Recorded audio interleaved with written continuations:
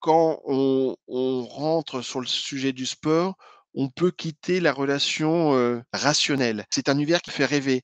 Qui est capable de mettre autant de Français dans la rue de façon positive que ce qu'a su faire France 98?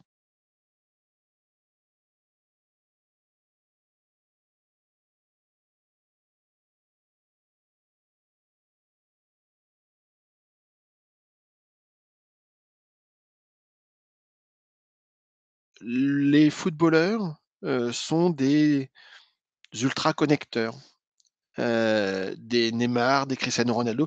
Cristiano Ronaldo, c'est le plus grand connecteur, le plus grand influenceur du monde. Un Messi qui s'habille en Dolce& Gabbana pour le Ballon d'or, c'est la garantie pour Dolce& Gabbana de faire le tour du monde.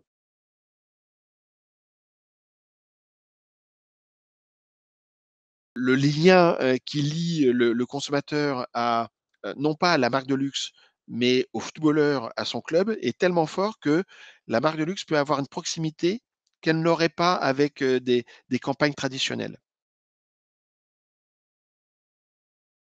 Là, avec les réseaux sociaux, du moins avec le digital, l'audience, c'est une audience qualifiée avec, la capacité d'interagir avec, cette audience-là et potentiellement, de lui faire des offres promotionnelles, de lui proposer a une forme d'engagement.